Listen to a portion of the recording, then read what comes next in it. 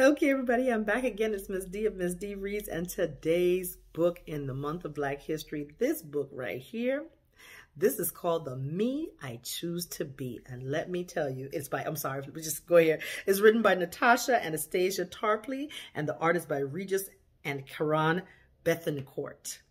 First of all, look at this cover. I mean, really. And if you've ever seen on um, social media sites that you've seen these kids dressed up and just amazing, this is what it is. Book of photography, right? I mean, just look at the imagery. Look at look at the first one here. Or it's a couple pages and I'm sorry. I'm a planet.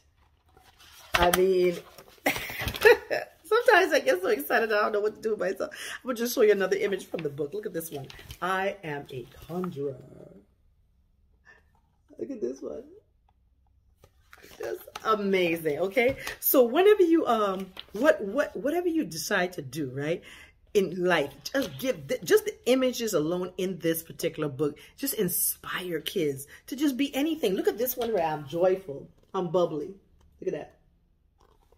So listen, the creativity, first of all, of the photographers is just astounding. The fact that they have the kids just dressed in those fantastic costumes is amazing. But also what it does more than anything else, it inspires children and it allows them to think creatively and think about the fact that they can do anything they want to do.